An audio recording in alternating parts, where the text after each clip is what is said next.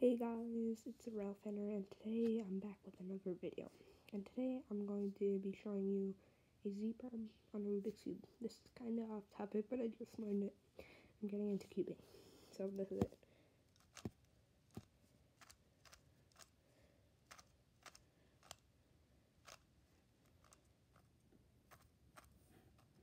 And that is a Z-perm. Hope you guys enjoyed, and I will maybe be giving some more tips on Rubik's Cubes. See you later.